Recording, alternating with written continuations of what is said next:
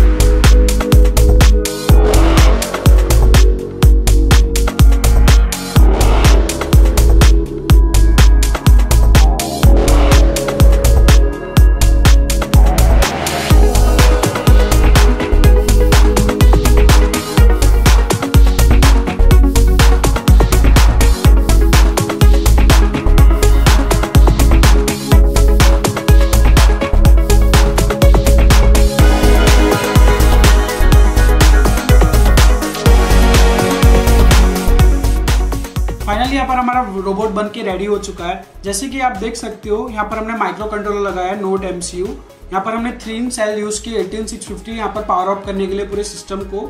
और यहाँ पर हमने दो आर पी एम दो सौ आर पी एम की दो मोटर यूज़ की गई है।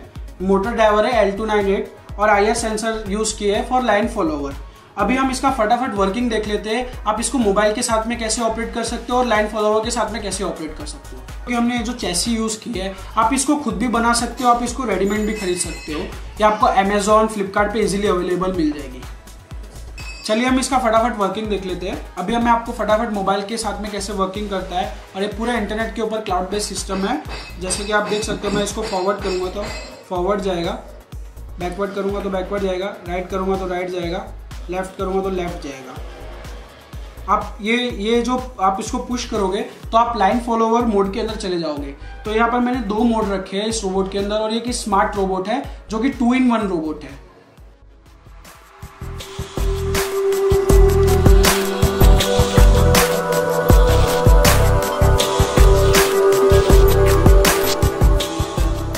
आपको इस रोबोट को फटाफट ऑपरेट करके बता देता हूँ। ये हमारी जॉयस्टिक है, आप इसे राइट लेफ़्ट फॉरवर्ड बैकवर्ड सब कर सकते हो। ये हमारी स्लाइडर है जिससे आप इसकी स्पीड एडजस्टमेंट कर सकते हो। ये हमारा मोड स्विच है जिससे आप मोड स्विच कर सकते हो, अभी मोबाइल मोड के अंदर है।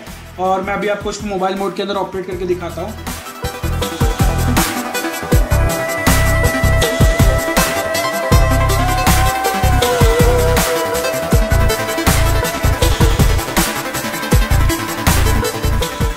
फटाफट लाइन फॉलोअर मोड ऑन कर रहे हैं जैसे कि आप देख सकते हो।